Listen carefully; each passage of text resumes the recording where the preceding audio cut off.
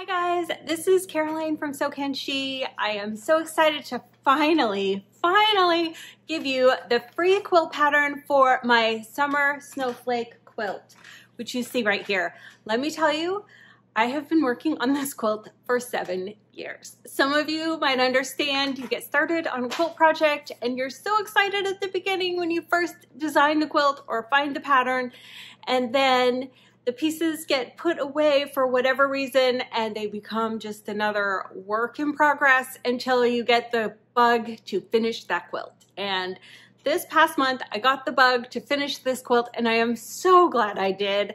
Oh my gosh, I loved it so much when I first designed it and I made all of the half square triangles for this quilt at that time and then I made about half of the blocks and then we moved and the children were growing and had things that they needed me for. And this project just got put in my WIP pile until now. And um, I'm so excited to finally finish it. Now, the unique and fun thing about this half square triangle quilt, you see there are a lot of half square triangles in this quilt. And so as I was working on it, to help me not get mixed up, not to turn my little triangles the wrong way and sew them together wrong. To help me, I made this little mat that I could put next to my sewing machine and then lay my little pieces on it. And then as I went ahead and chain pieced, I could just grab the pieces from the mat and then after sewing pieces together, I put them back on the mat to help me ensure that I sewed all of these together in the right configuration. So then when you sew these 16 pieces together, then you make four of these and put four of these together to make one of this piece right here. Once you get started, I think you are going to love the process too after you make all of the half square triangles, which you can make them any way that you like. These are the two and a half inch half square triangles, which finish at two inches. So you can use jelly roll strips to make them. You can use mini charm squares to make them. I'll give you a link to my half square triangle paper, which that's actually how I made them. I used half square triangle papers so that they were all exactly the right size, but you can also use other shortcut methods to make half square triangles. And I'll give you links to all of my methods for making half square triangles, the free pattern to make this beautiful quilt, and also this free printable download for this little mat to help you put them all together correctly without any stress and without worrying and getting them put together wrong or worrying if you're doing it right. So um, please watch this video. It's going to show you how I did it exactly step by step. And then once you make your blocks, you sew them together and you can quilt it any way you like. And then you'll have this beautiful summer snowflake quilt. So, so here's the layout mat that I designed to use with my summer snowflake quilt. This makes it really easy to lay out your half square triangles and not get any of them turned the wrong way. As you can see here, I have some gray half square triangles, and then I have some pink print half square triangles, and these can be used with any of the bright colors in the quilt. And then half the squares are just blank, which you'll fill in with your background fabric. And I'm just going to take these scrappy pink and white half square triangles and lay them out. Since this is a scrappy quilt, mm, I'm not paying too much attention to the layout, just trying to make it random and the colors look nice. So here are the gray ones that I have. And I'll just lay them out. The most important thing, as you notice, is you just need to make sure that the print side of your half square triangle is on the darker part of the half square triangle on the mat, just like this. And if you match them all like this, then it will turn out just right. And so here I have a bunch of background squares. These are just cream colored fabric, the same cream colored fabric that I used to make the half square triangles. So I'm just going to fill this in. And then when I sit down to sew, I can go ahead and I can sew together this row of half square triangles and then this row of half square triangles and then I'll go ahead and press. So I'm going to chain piece this block and I'm going to pick up my pieces in almost the exact same way every time I use the mat. Now I'm sewing with my quarter inch foot, you can't see that, and I'm sewing a scant quarter inch seam allowance. And as I chain piece, that means that I won't cut the threads in between each set of pieces. And you'll see that will help me with pressing with nesting seams later on. So I'm just going to go ahead and chain piece all of the little half square triangles in this first little block.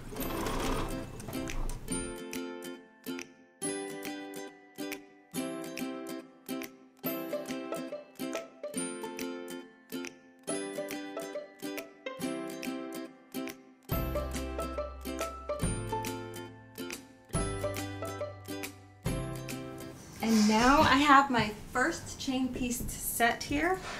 I will set my little mat aside. And I'm going to pull over my wool pressing mat just for this purpose. Now usually I do this at my ironing board so I have a little bit more room.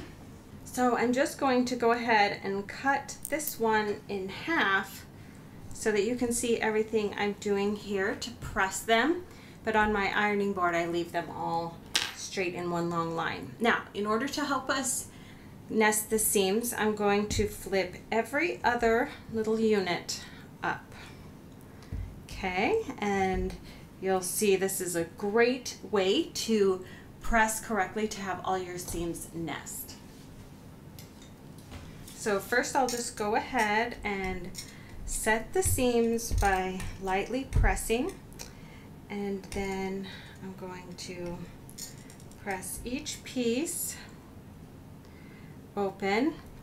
Now I am pressing my seams to the side you see here and that will help me with nesting my seams. If you are a quilter who presses your seams open then by all means just press these pieces the way that is most comfortable to you.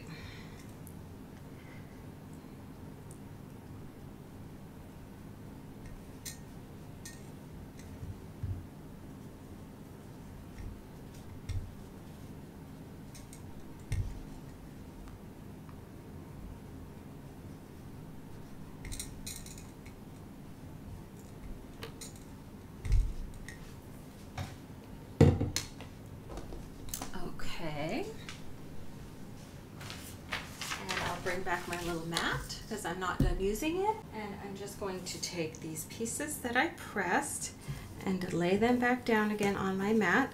And you see that all of the pieces still match up with the triangles on the mat. As long as we keep laying them down and matching them up with the triangles on the mat, that will prevent us from mixing up our triangles as we sew. So now that these are all laid out, I'm just going to go ahead and clip the threads in between each piece so that I can sew them together. And I'm going to repeat my chain piecing process here to sew these little strips together.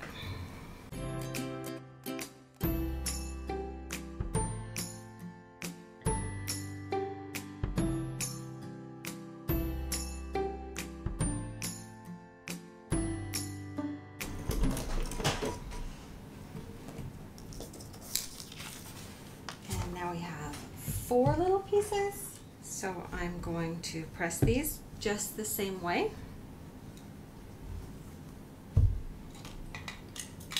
I'll set the seams and then carefully press each piece with the seams going in opposite directions.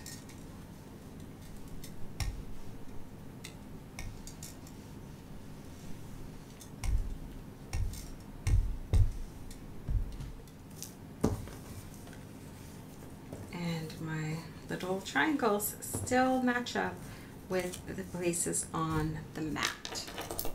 Once again, I'll just go ahead and clip the threads that are in between each strip.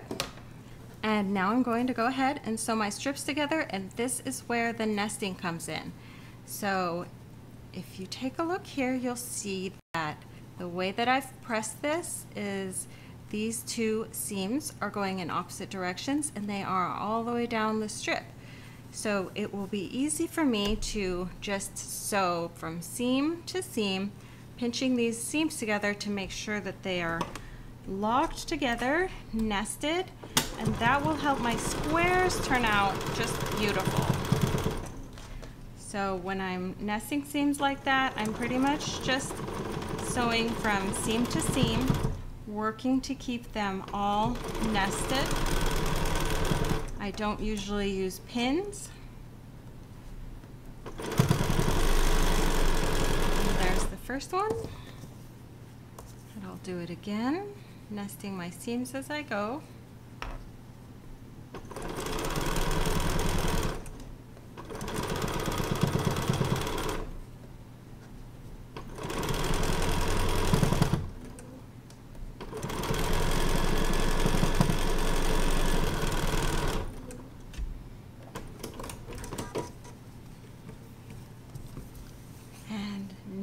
before I press again, I'm just going to cut this little thread and then I'm going to lay these back on my mat, making sure that I match up my triangles and I'm going to sew this last seam together.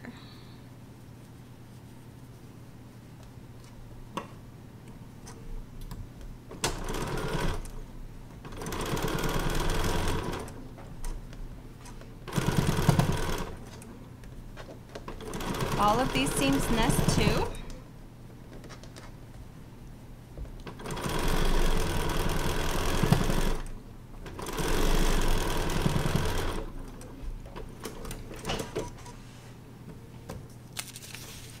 And now let's press our block.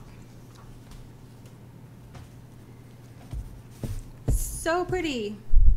So to press this block, I'm going to press all the seams in one direction again. I'll set the seam and then go ahead and press it.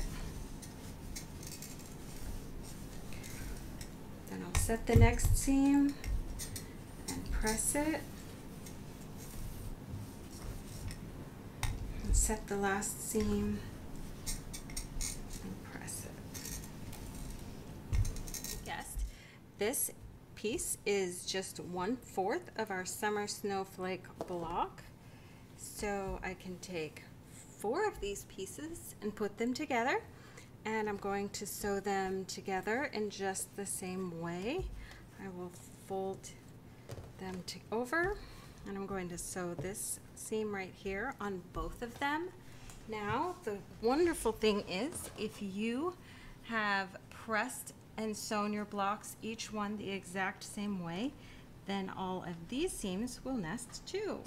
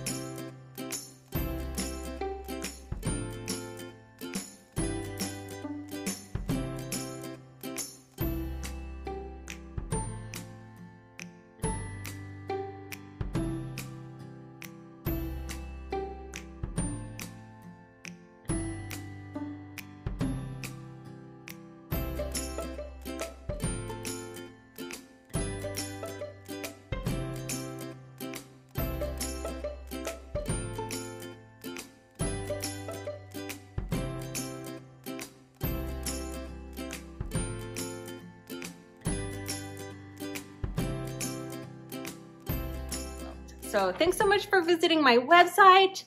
Please like this video and subscribe it. If you love quilts the way I do and you love making quilts, let me know in the comments how you like this method of using a little mat to lay out your quilt pieces.